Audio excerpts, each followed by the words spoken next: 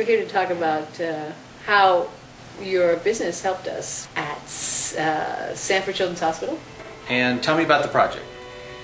Well, it was an interesting project. The concept was that we wanted to have a castle, and the theme in the castle was a treasure hunt to the castle. And the idea was to get the children out of the patient rooms and into the corridors and into the playrooms, creating patterns and ribbons in the floor that they could follow. So through stars and ribbons, they found their way.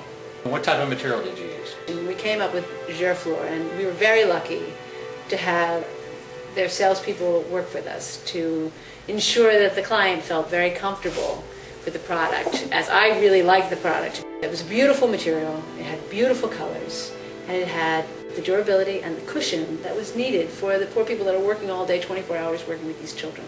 I was sold on it, but we had to have the client uh, agree to that, and they were very helpful. We put some test pieces down in their elevators, and because we did that, they were very comfortable with it, and as a result, we have beautiful floors.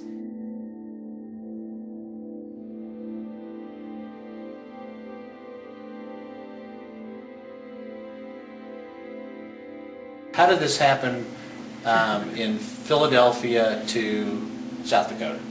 When we had specified the materials, there was a question as to how all of these intricate star patterns and ribbons were going to be cut into the flooring, but we didn't know if we had anybody out there in Sioux Falls that could do it. They have a limited labor pool there. So thank goodness Philip uh, met me there at our office and showed me his important materials.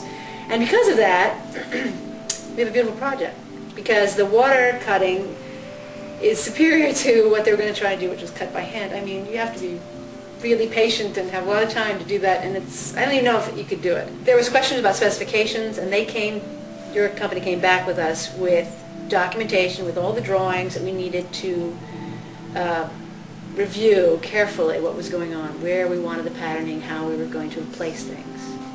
I think the thing that saved us was having WaterJet in the spec because if we didn't have that, we would have been at the mercy of the contractor and not, you know, that some people believe they can do things and they really can't, so it's better to have that up front so you're sure that the end result is going to make everybody look good.